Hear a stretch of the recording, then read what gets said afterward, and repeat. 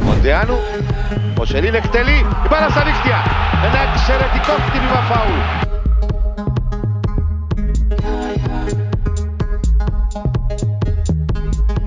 Έσκαψε μια παλιά για τον ε, Ασής, ευκαιρία για την Ομόνια, 2-0 η πράσινη.